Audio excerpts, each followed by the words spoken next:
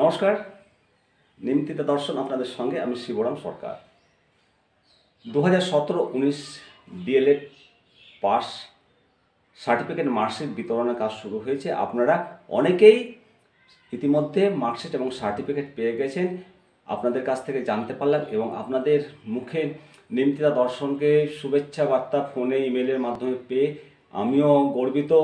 আপনাদের মধ্যে অনেকেরই ধারণা আছে যে ইউটিউব থেকে যে খবরগুলো দেওয়া হয় সবই ফেক প্রিয় দর্শক এখনও ভালো মানুষ আছে, ভালো চ্যানেল আছে ওনারা অথেন্টিক খবরই দেন। ভরসা রাখবেন নিমতিদা দর্শনের ওপর আর অবশ্যই অবশ্যই খবরগুলোকে শেয়ার করবেন, আপনাদের কমেন্ট করবেন। আপনাদের প্রশ্নের উত্তরে আজকে জানাই। আপনারা জানতে চেয়েছেন যে স্যার তেইশে জানুয়ারি এনআইএস দপ্তর কি খোলা? আপনাদেরকে এর উত্তরে বলব যে এনআইএসের হলিডে লিস্টে তেইশে জানুয়ারি মানে এন লিস্ট নেই। অর্থাৎ হলিডের তালিকায় এনআরএসের তেইশ তারিখ ছুটি নেই। কিন্তু কেন্দ্রীয় সরকার এটিকে পরাক্রম দিবস হিসেবে ঘোষণা করেছেন। এনআই অ্যাক্টে এটি ছুটি আছে। সুতরাং তেইশে জানুয়ারি যাবেন না এনআইএস দপ্তরে। আপনারা চব্বিশ তারিখ যান, পঁচিশ তারিখ যান, আবার ছাব্বিশ তারিখ ছুটি, সরস্বতী পুজো, সাতাশ তারিখ সম্ভবত ছুটি হতে পারে। তার পরবর্তী ডেটগুলোতে যান। আপনারা অবশ্যই এগারোটার মধ্যে লাইন দিবেন এবং টোকন সংগ্রহ করে দুটোর পর থেকে মার্কশিট এবং সার্টিফিকেট পাবেন। আপনাদের প্রশ্নের উত্তরে জানাই যে নোটিফিকেশান বেরাবে কি? না, আর কোনো নোটিফিকেশান বেরাবে না। এনআইএসের দপ্তরেই নোটিফিকেশান টাঙিয়ে দেওয়া হয়েছে। আর ওয়েবসাইট খুলবে? না, ওয়েবসাইট আর খুলবে না। ওয়েবসাইট আগেই বন্ধ হয়ে গেছে, আপনারা জানেন। স্টাডি সেন্টারে মার্কশিট কি আসবে? না স্টাডি সেন্টারেও মার্কশিট আসবে না। তবে যিনারা যেতে পারবেন না, আপনাদের বাই পোস্টে বাড়ির ঠিকানায় সার্টিফিকেট এবং মার্কশিট পেয়ে যাবেন। তবে একটু ওরা বলব আপনাদেরকে যে পারলে রিজিওনাল সেন্টার থেকে যখন দিচ্ছে, সশরীরে গিয়ে মার্কশিট এবং সার্টিফিকেট নিয়ে আসুন। তবে নিজের মার্কশিট এবং সার্টিফিকেট নিজেকেই দেবে, অপর কাউকে দেবে না বাবা মা বা স্বামী কাউকেই দেবে না।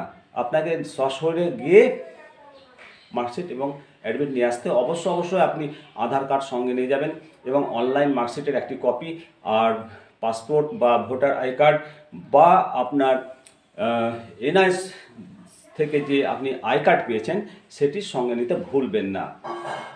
আর ডকুমেন্টস ভেরিফিকেশনের ব্যাপারটি আপনাদেরকে বলি। ডকুমেন্টস ভেরিফিকেশন অর্থাৎ আপনার উচ্চ মাধ্যমিকের পাশের সার্টিফিকেট, মার্কশিট যাবতীয় ডকুমেন্টস সহ আপনার একটি অ্যাপ্লিকেশন জমা দিবেন। অ্যাপ্লিকেশন জমা দিলে আপনি একটি মেমো নম্বর পাবেন। আর সেই মেমো নম্বর আপনাকে আবার রিজিওনাল অফিসে জমা দিতে হবে। রিজিওনাল অফিসে জমা দেওয়ার পর আপনি সাত দিনের মধ্যে আশা করি পেয়ে যাবেন।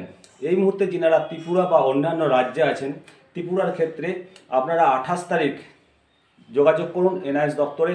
আঠাশ তারিখ থেকে সম্ভবত মার্কশিট এবং সার্টিফিকেট বিতরণের কাজ শুরু হবে। যে সমস্ত রিজিওনাল অফিসগুলোতে সার্টিফিকেট আসেনি, অতি সত্তরই সার্টিফিকেট পেয়ে যাবেন। আর মার্কশিট সার্টিফিকেট পাওয়ার পরপরই আপনারা এসআইএস অফিসে যোগাযোগ করুন। এই ক্যাটাগরি বেনিফিট খুব শীঘ্রই পাবেন। আর দু হাজার অক্টোবর যিনারা এইচএস পাস করেছেন আপনারাও মার্কশিট পাবেন। সাবমিট করুন, ডকুমেন্টস সাবমিট করুন, অবশ্যই মার্কশিট পাবেন। এই ব্যাপারে একদম চিন্তা করবেন না।